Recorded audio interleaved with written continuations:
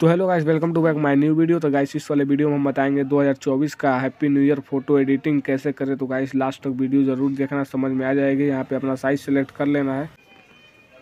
और गाइस यहाँ पे साइज़ सेलेक्ट करने के बाद स्क्रॉल करने के बाद स्टीकर वाले ऑप्शन पर जाना है और यहाँ पे सर्च करना है हैप्पी न्यू ईयर 2024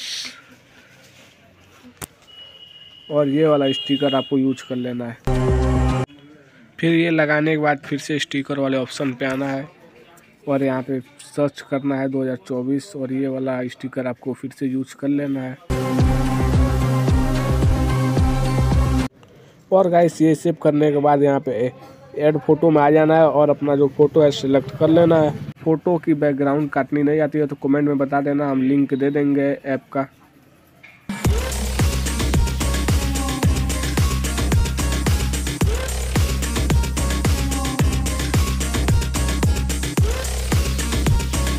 गाइस फिर से हो जाने के बाद स्टिकर वाले ऑप्शन पे आना है और यहाँ पे सर्च करना है ब्लैक शेडो और ये वाला स्टिकर यूज़ कर लेना है और अपने हिसाब से एडजस्ट कर लेना है।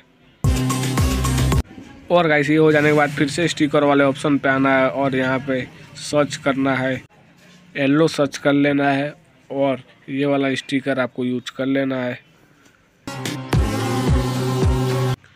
और यहाँ पे इरेज वाले ऑप्शन पे आना है और सेलेक्ट में जाना है और ये बैकग्राउंड कर देना है। क्वालिटी जो है लो कर लेना है।